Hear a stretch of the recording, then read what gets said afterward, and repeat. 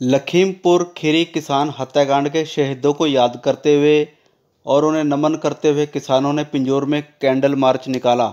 मंगलवार की शाम को किसानों ने पिंजौर की मेन मार्केट में लखीमपुर खीरी किसान हत्याकांड के शहीद हुए किसानों को याद करते हुए उन्हें नमन किया और उन्हें सच्ची श्रद्धांजलि देते हुए कैंडल मार्च निकाला। शाम को सभी किसान यादविंद्रा गार्डन पिंजौर में इकट्ठे हो गए थे और उन्होंने कैंडल मार्च शुरू करते हुए यादविंद्रा गार्डन से मुख्य बाज़ार पिंजौर से होते हुए